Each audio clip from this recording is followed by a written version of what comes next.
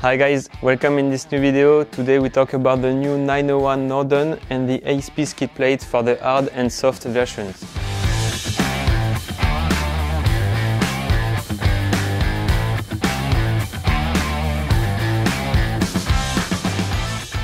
As you may know, our 890 Adventure skid plate was a good success. However, we got some feedbacks from you and we designed these two new skid plates using your remarks, trying to improve and make the best product ever.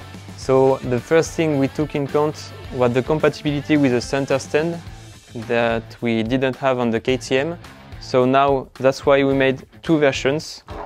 You have the hard versions not compatible with the center stand and the second one which will be fitted differently than the hard version but will be compatible with the center stand. Except for the rear fixation, the rest is very similar. So we have the skid plate made of HDPE plastic 8mm thick for a better resistance.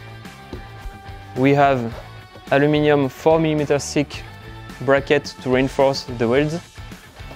We have a thermic form and the new accessory we add is a form on the side to avoid the contact with the tank. As you know, we also supply the mudguard, which was behind the radiator on the 890 KTM, but we had some issue with the exhaust, so now we placed in front of the skid plate, which will avoid any melt.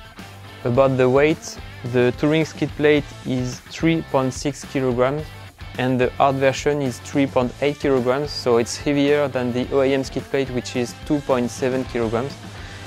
Why? Because you have a thicker thickness. The material is very different. The OEM skid plate is only 2 mm thick. Here we have 8 mm and lot of reinforced brackets for a rigid fitment. The main advantage of the HDP is the weight. If you compare the same skid plate with the same thickness in aluminium, you will have a huge difference of weight. Then you have a less noisy material. If you have aluminium, you know it's rocky and uh, it makes some ring sound. You don't have here in, with the plastic.